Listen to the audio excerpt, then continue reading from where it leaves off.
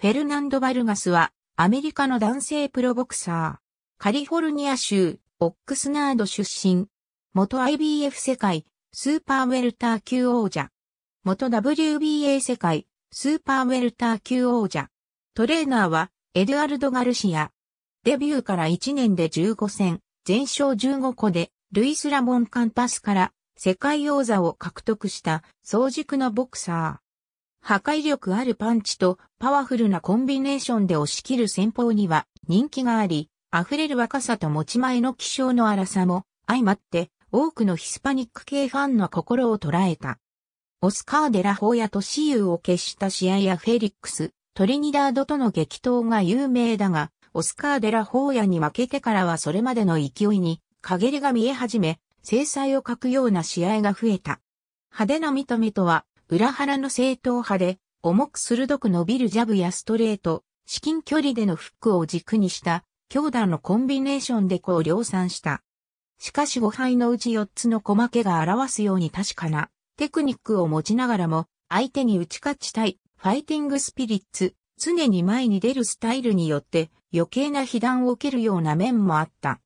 キャリアの早い段階で猛者たちとしのぎを削ったことで短命なキャリアとなったが、20代前半でスターダムに上り詰めた実績は特筆すべきである。ジュニアオリンピックでは1992年に2位になり、1993年には優勝を飾っている。1994年には全米選手権で優勝。1995年にはパンアメリカン競技大会で銅メダルを獲得している。1996年にアトランタオリンピックに出場、初戦を10から6の判定勝ちを収めるも2回戦で銅メダルを獲得したマリアン・シミオンに7から8の僅差で敗退した。アマチュア戦績は105戦100勝5敗。バルガスはプロに転向を発表すると、ケイシー・デュバ率いるメインイベントシャット契約を交わした。1997年3月25日、ホルヘ・モラレスと故郷でデビュー戦を行い初回56秒高速小勝ちを収めデビューを飾った。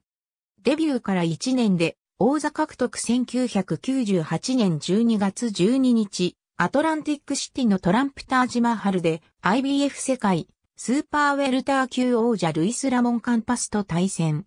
パワフルなコンビネーションで圧倒し7回終了時期権による TKO 勝ちを収めデビューからわずか1年で王座獲得に成功した。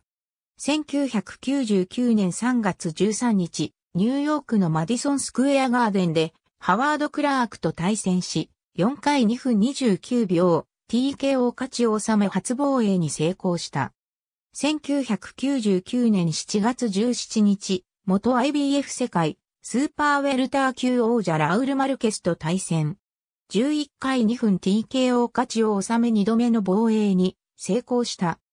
1999年12月4日、後の世界2階級制覇王者、ロナルド・ライトと対戦し、ライトの技巧と防御に苦戦するが12回2から0の判定勝ちを収め3度目の防衛に成功した。しかしデビューからの連続故勝利は17でストップした。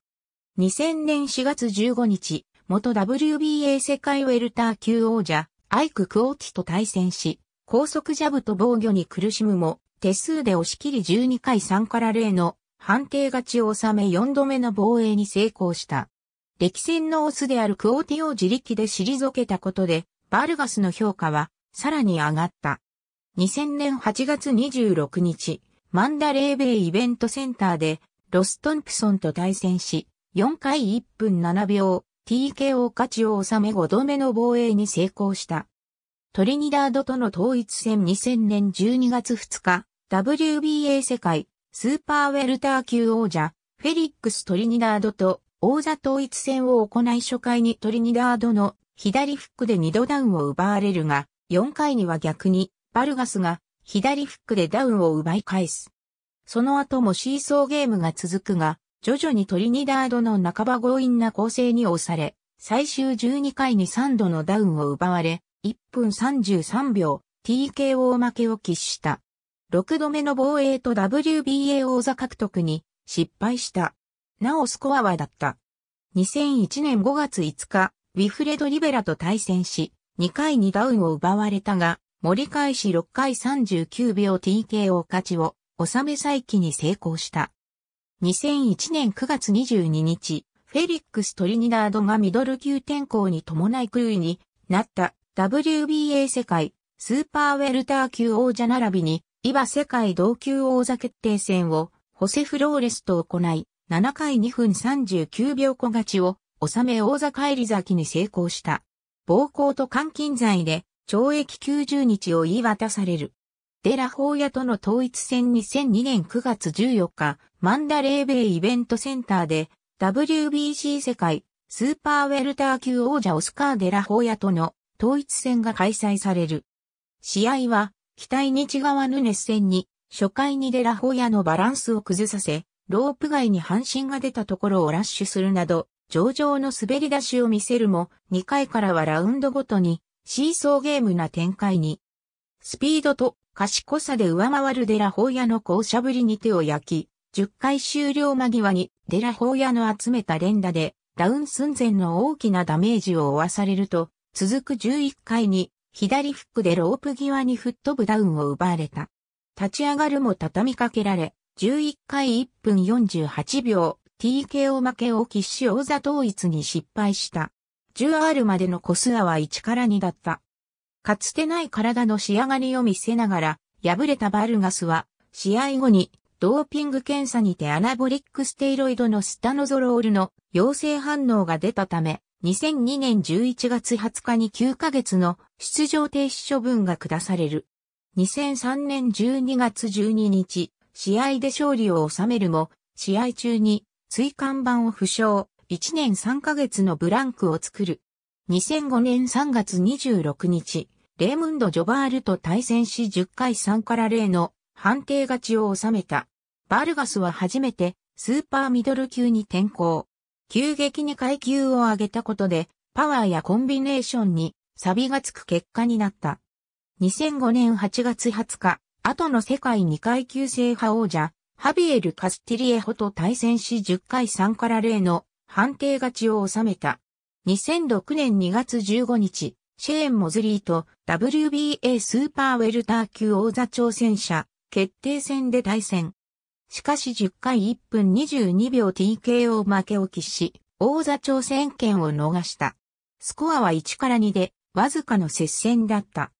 2006年7月15日、MGM グランドガーデンアリーナで、シェーン・モズリーと再戦するが、一方的に試合を支配され6回2分38秒、TKO 負けを喫しリベンジに失敗した。デラホーや戦同様、明白なスピード差に後手を踏み、構成の手がかりをつかめなかったことが敗因となった。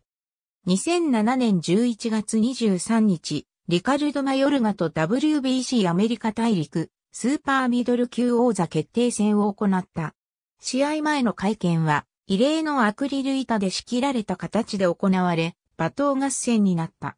12回0から2の判定負けを喫し王座獲得に失敗し、3連敗となり、現役を引退した。2011年4月16日、ザ・ジョイントでヘンリー・ブキャナンとの対戦で復帰予定だったが、結局立ち消えになった。2014年、家族でリアリティ番組へ出演した。ありがとうございます。